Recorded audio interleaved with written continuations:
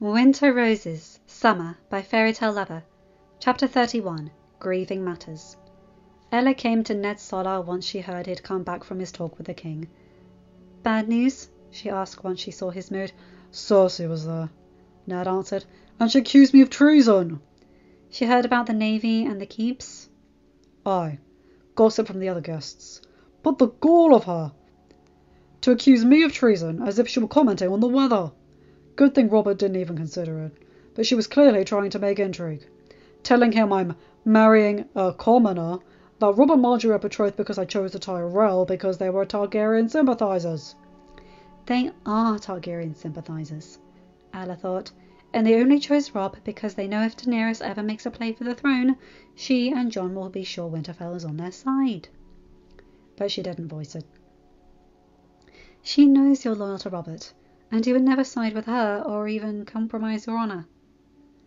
You're not with her, you're her enemy, and therefore the only way to deal with you is to eliminate you. So it's either kill you, which would be very messy and very well incite a war, or undermine you. He huffed, and she sat back a bit with a smile. Going to sit on the arm of his chair. I was thinking about something on the way over, and I hope you will agree with me. Ned smiled weakly, pulling her down to his lap and putting both arms around her waist. And what is my lady wife plotting this time? Why, my lord husband, you make me sound like quite the schemer, she laughed. Bran said he wants to stay in Winterfell instead of facing the long journey here. Ned huffed again, annoyed. Yes, he did. I must be the Stark in Winterfell from now on, father, he said, insisting his dreams told him as such. Well, I won't argue with green dreams. Ah, ah, ah! After lady, you are not going to argue with it either, are you? Ned pursed his lips. No, I won't. What does it have to do with anything? Well, I was thinking that Rickon could come to the wedding, rather. All right, I'll tell Robb. Rickon will be thrilled, I imagine. I doubt he was happy being left behind. This is what I want to talk to you about, Ella said, and Ned frowned. You said you left Rickon in Winterfell because he was too little. Well, he was four at the time. Yes, but he's nearly six at the wedding. And I'm not diminishing Lady Winifred, but... Ned chuckled. You want him here, under your wings. Don't you want your son here? You know I do, silly. Not diminishing Lady Winifred, but I'd rather have him under our eyes. Good. Ella smiled. Now, I was... A quick knock announced Paul's entrance, and he was immediately embarrassed. Ella cleared her throat and stood up. What is it? Ned asked, uncomfortable. I'm um, sorry, my lord. The the High Septon some word. He would like Ella to come to the Sept of Baelor as soon as she can manage to get arrangements for the wedding set. If I must. Ella sighed. Thank you, Paul. I'll send a message I'm coming over tomorrow. The man bowed his head and turned to leave, but Jory had come into the room as well and as such he blocked the way. Since you two are here, Ned called, you both serve my house and my family faithfully for years, so I know I can trust you with this secret. The king is organizing a grand ceremony for my wedding, as I am sure you are aware. However, that is a southern ceremony, to avoid upsetting his grace, and the date he has decided upon. We are keeping it private, but we have married in the Godswood of the Midnight Fortress before we left. So please, accord all due respect to the new lady of Winterfell. Well, congratulations, my lord, my lady, Jory said. Paul blushed slightly, but also congratulated them, and the two of them quickly left. Ned stood up, holding his hand out to Ella, when once again there was a knock. She bit back a smile at his murderous glare, then rolled her eyes. That's the service door. It must be only a spider, Lady Stark. Varys said, coming into the room. Catelyn smiled when she saw Peter. The Septors were always furious when he visited. Some even complained about the special treatment for the little lady, but the High Septon was given an order, and none of them would dare question it. He extended a single daisy, as he did every time he visited, knowing that they were her favourite. How are you, Cat? Littlefinger said. Same as you asked me a few days ago. Why are you back so soon? Has something your children are fine, Peter was quick to reassure her, and she exhaled in relief. They have just returned from their trip to the Blessed Island, though, and their ship brought much gossip. I can only imagine. You said half the realm was invited. And the other half didn't have deep enough pockets. Tell me, please, Peter. What will certainly make you the happiest is what I discovered of your precious Bran. He will walk again, Cat. Oh, gods! Catelyn exclaimed. Oh, seven blessings! I prayed so much. I must light another candle to the mother. A miracle indeed, my lady. I can only imagine your happiness. What? What else do you know? How is Robb?" Well, I imagine. Littlefinger smiled. He had organised his gossip carefully for the greatest impact, and Catelyn was following the song perfectly. He competed in the tourney, but was bested by Prince Oberyn Martell in the quarterfinals. Oh, this will interest you. Robb is betrothed to Margaery Tyrell. Tyrell? Why ever would Ned make an alliance with the Reach? Food for the coming winter, I suppose, whenever that might be. I imagine the Tyrells were quite eager to please the Starks after the, the service rendered by Lord Starling. Catelyn pursed her lips, remembering the story of the tourney of the hand. What news from them? she asked with content. All accounts say that the tourney was very entertaining. Lord Starling won and crowned his wife the Queen of Love and Beauty. The jewellery show also seemed to have been a success, as there's a handful of winter diamonds parading around the city. But the real gem seems to be the Lady Lyanna, who apparently charmed all the present. She's. she is what? Three, four moons old? What were they doing parading her in public? I gathered she went to cheer her father as he sparred with Sir Barristan Selmy. Fools! No proper idea how to raise a child, Catelyn muttered. I wish to hear no more of it. What about the girls? And Rickon? Once again, Rickon was the Stark in Winterfell, so I know nothing. The girls are also fine. I saw them from the window as they rode up Aegon's high hill. What else, Peter? I can see there's something you're not telling me. Littlefinger made a show of being uncomfortable. I wish. I wish I didn't have to tell you this, but you will find out soon enough. Tell me! Lord Stark is marrying again, he confessed, eager to see her reaction. He is marrying the governess. You did what? Tyrion asked after spitting his wine. Gods, you've gone madder than I possibly could have anticipated, sister. But Cersei wasn't vexed. I told him. I heard you the first time. There's no need to repeat your insanity out loud. And now she got angry. He is! Oh, seven hell, Cersei! Tyrion exclaimed, setting down his goblet on the table with a clunk. The day Ned Stark is less than honourable, the day he really plots treason against Robert, that's when the world has truly gone to shit. Are you utterly, utterly mad? To make an accusation like this, and in front of Robert? She shrugged. Better in front of Robert than having the honourable northern fool come to tell him later his own version of the story.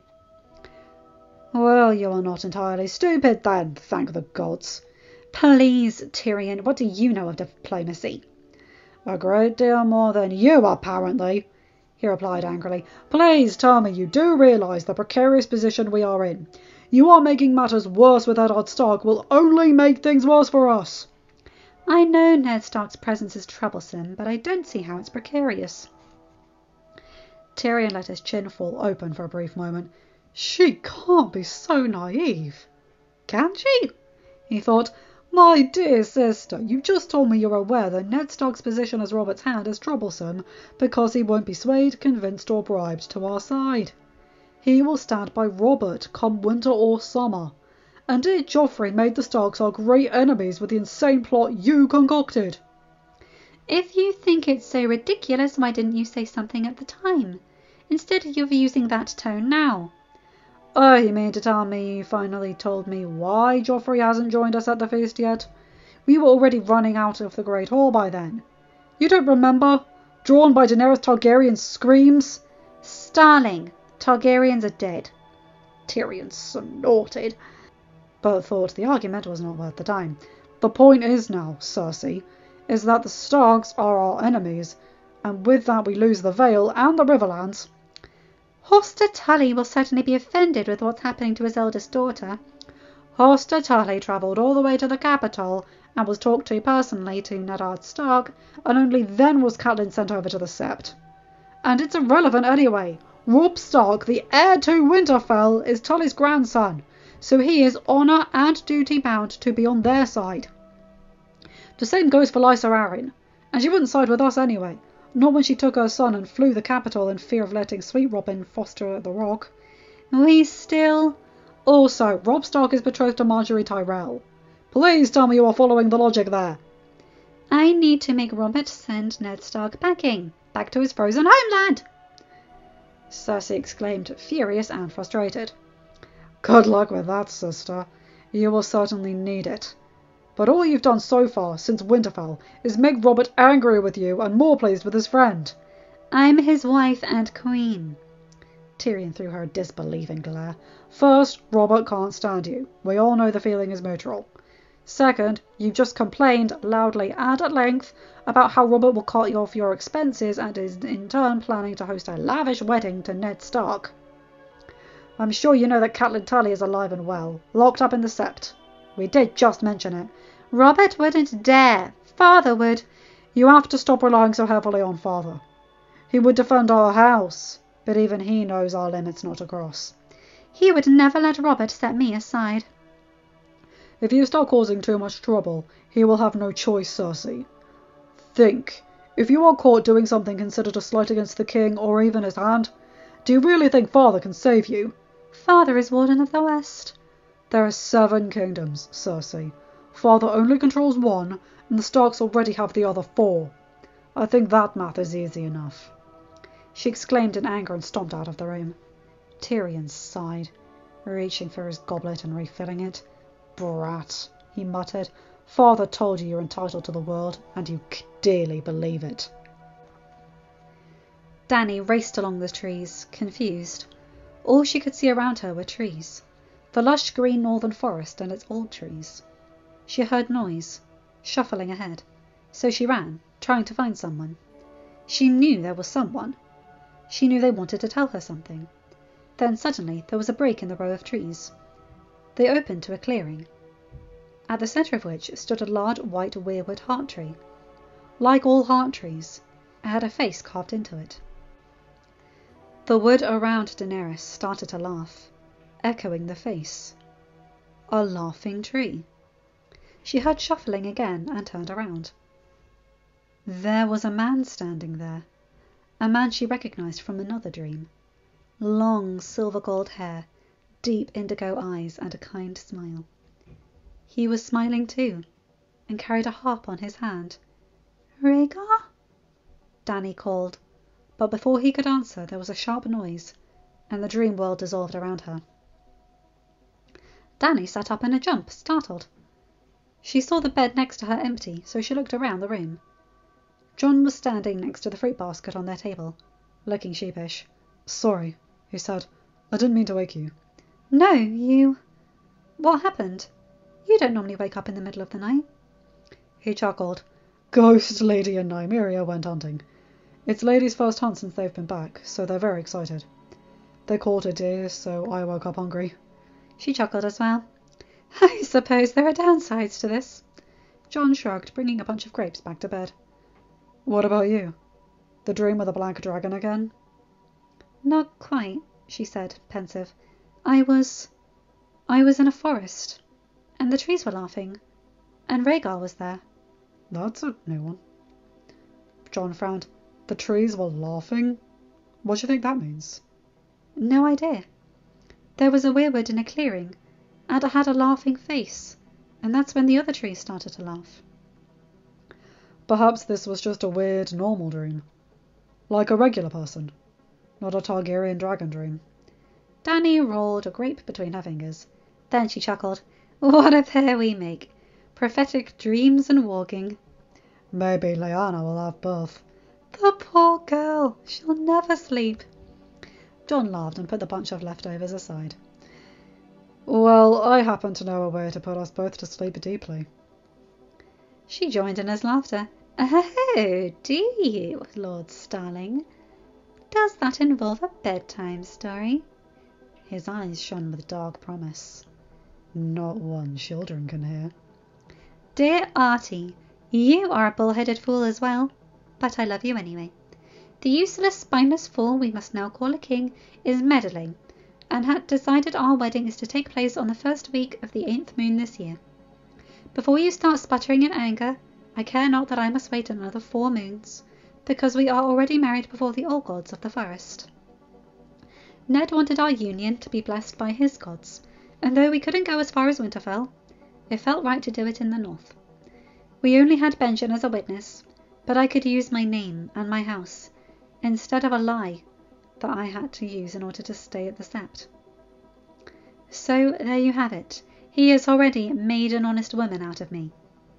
I have managed to tell Edric, and he only snickered, saying he will make sure Lord Dondarrion will be in King's Landing for the occasion. Whatever else he is plotting, I have no idea. Speaking of Lyanna, Jon's daughter already shows that she is as spirited and wilful as her grandmother. Gods help us when she grows up and makes us all nostalgic. In his studies of magic and prophecies, do you know what, if anything, Rhaegar learned about wargs and green dreams? I know it is something that comes from the children of the forest, passing to the first men through marriage. But the children are experiencing the bond with their direwolves. Yes, each Stark child has their own direwolf companion, and they share their eyes at night. The tiny Crannog man, Howland Reed, understands a bit about the subject, and has sent his son to foster in Winterfell and guide Robin Bran. His good sister, also a Crannog woman, is coming to King's Landing to teach Sansa and Arya, and there's already a son of a Crannog man in the Blessed Island, so he will teach Jon. How is your life, brother? I know you're upset about having to hide out in a hut, but we must all do our parts. Having you become a hermit and stay locked in a threatening any neighbour who comes to stop to say hello? Are you terrorizing the troublesome children who dare disturb your peace? I do agree, by the way, that we must write more. Your handwriting is terrible. Please do practice some. Ashara Stark, Lady of Winterfell. It was her first time using the Stark seal, and Ella felt almost giddy, like the silly girl who had fallen in love with Ned at Harrenhal. But eighteen long years and a ton of shit that had happened between then and now, and she could still only smile. Ashara Stark, Lady of Winterfell. It made the silly butterflies flutter in her stomach. She put a weight on the four corners of the parchment so it wouldn't roll up as it dried, and went to the fireplace, carefully disposing of the mixture that made the ink invisible to the naked eye. Dawn, the hawk, watched her movements with half-bored look, aware that she was about to travel again. Ella had rolled her eyes at her sister when she stopped by Starfall, nearly two years ago now. Big Brother had allowed her to name one of the special messenger falcons House Dainbred, unknown to the other kingdoms, and children of houses and Allyria, in her childish wisdom, had decided since there was no current active Sword of the Morning, that she would name the bird Dawn. Ella looked down at the now empty little bowl. I'll tell Arthur in the next letter, she decided, unwilling to make more ink. He will have a kick out of it. She folded the now dry parchment and carefully slipped it into the leather pouch. Dawn stretched on the window sill, shaking off her lazy morning, and spread her wings so Ella could put on the breastplate in place. But before she could even get to the window, Sansa and Arya came barreling through the door. Are you going to the Sept today? Sansa asked quickly. Ella raised an eyebrow and the girl blushed. Sorry, we should have knocked. Is that a hawk? Arya asked unabashed. Yes, Ella chuckled. Her name is Dawn. Come on, she won't bite you. Arya smiled and cautiously came to the window. Dawn looked at her warily, but allowed the approach and even the touch. She's beautiful, the girl exclaimed. I didn't know you liked hawking. She came to the window one day and stayed. Ella answered, more like Allyria sent a letter and told her to stay with me. Can you teach us? Arya asked. Sansa, more cautious than her sister, approached more slowly, but also touched the soft white plumage. Of course, Ella answered. She's about to go hunting, but I'll get us new hawks. How does that sound? Both girls like that idea. Not today, though. Today we are going to the Sept. All three of us? Ella nodded. I'm sure if you behave, the High Septon will agree to let you see your mother. Would you like that? They nodded eagerly. So, come on. Let's get going. We saw father leaving already. That's a bit earlier than usual. Arya said, and he was very unhappy. What's wrong? Small council business, Ella answered. Nothing for you two to worry about. Now, come on. Sir Meryn and Sir Boros were shocked when Ned showed up and demanded an audience with the king. The ever grumpy Sir Meryn tried to block his passage, saying that the king hadn't awoken yet, but Ned wasn't moved. Well, then I suppose he will wake in a very sudden and angry mood, Ned snapped shortly. Move aside! Neither knight moved. I'll make it easier for you to understand, sirs. I am the hand of the king, and there is only one man who holds more power than I in this realm. Therefore, if the king has commanded you to bar my passage, by all means stand there. Otherwise, when I say jump, I kindly suggest you ask me how high. Both men were startled by the sudden shortness. What is the meaning of this ruckus? Robert demanded, opening the door in his nightwear.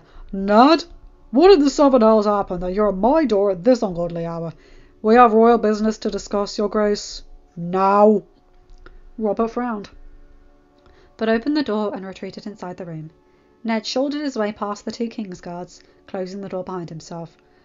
You must have grave news, the king said, going to pour himself wine. Nothing else would bring you here at dawn. Ned rolled his eyes and bit back a snort. It's past mid-morning already, Robert, and there's no shorter than three urgent matters we must discuss immediately. Is it about the Targaryen boy? That too. Lord Varys received whispers he is moving from Pentos to Volantis. Ah, and that's significant because that's where the Golden Company is. Oh, well, Lord Varys is, of course, already spreading more of his little birds. The Dothraki were a more distant threat, since they don't have ships and wouldn't cross the sea. The Golden Company, however, is another story. That means it is imperative that the royal fleet is up to its best capacity. Robert nodded. Where's Stannis? Hold up in Dragonstone, if you'll forgive me the bluntness. You sent him a raven? I did, and I got no reply again. I met one of his men, Sir Davos Seaworth, at the Midnight Fortress. He didn't confirm Lord Stannis was ignoring the message, but that was the idea I got. Very well. The fucking bitch has had his tantrum. He's been away for over a year. Send him a final notice to come to court in a week's time, or he's forfeited the position. That he can't say, I'm not there. Good, Ned said, and I kindly ask, if Lord Stannis does indeed renounce his position, that I'm allowed to fill in the seating with a man of my trusting. Granted. It will do those bitches good to have more northern blood here. Perhaps that lord was supposed to become Jon's overlord? And tell him the king approves of his nomination. House Manderley will be most pleased. I'll also make it sure that the Navy has enough ships. On that note, I would also like to talk to you about the situation with House Arryn. We've spoken about it, Ned. Let the widow handle the boy and the Vale. Jaime Lannister is the Warden of the East. Well, you've made the decision and the announcement, so I know no good will come from arguing. But you do know as well as I do that the Vale men will not follow Jaime Lannister's command. They will, Robert started, but then huffed at Ned's raised brow.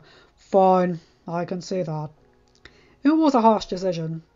Are you happy that I've admitted it? Slightly, Ned said. The Knights of the Vale will only follow a man from the Vale, as you well know. The Lord of the Vale is a child, and a delicate one at that. So I'd suggest that, while Lysa Arryn, as the mother, is allowed to oversee the day-to-day ruling and politics of the kingdom, we install a Vale man as commander of the Arryn forces. Fine, fine. I will. Robert, do not irritate them more than you already have by giving their title to Jaime Lannister. Choose a man whom Jon Arryn would choose. You are in a mood today, my friend. Ned glared at him. I am. We'll get to that. Right after you think about Lord Yohn Royce. He was Jon Arryn's right hand, wasn't he? Robert asked, and Ned nodded. Very well, have it done. Leave the widow as regent of the Vale and Royce as Lord Protector. Good. Now that that is settled, Ned said, feeling his anger rising again. I see we arrived at the point that's grieving you. What is it? Tywin Lannister has been plotting to pass a new law, Ned said through clenched teeth. Robert's mood soured. And how does he intend to do that if he is not on my small council? Considering what Varys and Renly told me, Lannister intends to lure out other Lord Paramounts to his idea, and if all else fails, he'll call for the crown's debt. That is too stupid a move to come from Tywin Lannister. Robert said. The man can be ruthless, fine, but he is a cunning bitch. A move like that matches his boldness, but not his cunning. That is what I thought as well. So we have two options. Are? Rod Ned exhaled. Either someone is playing games and laying the blame on Tywin Lannister, which is worrying for a number of reasons, or or he's too desperate to think clearly. End of chapter. Hi guys, hope you enjoyed that one. I like that, though my throat is sore from all those deep voices. Ow. So, Sansa, Arya, and Ella are going to see Catelyn. Oh boy. And also, I like that now that he's with Ella, Ned is much more attuned to the Game of Thrones. He is able to see what Tywin is doing. I like that. And he's a and you can see the way he's able to talk Robert around. Anyway, my throat's way too sore to carry on with this outro. You guys know the drill. Like, comment, and subscribe, and hit that bell to get notified if I never upload a new video. Have a good day, night, or whatever time zone you're in. Bye, my guys, gals, and non-binary pals. I'll see you in another video. Take care.